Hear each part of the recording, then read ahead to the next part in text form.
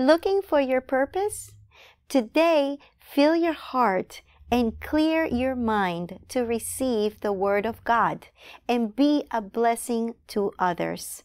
Receive Christ, let Him be a friend for life.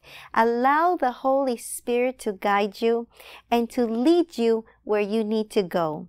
I bless you, and if you need prayer, reach out to us at One Vision Ministry at ovmprayforme at gmail.com. God bless you.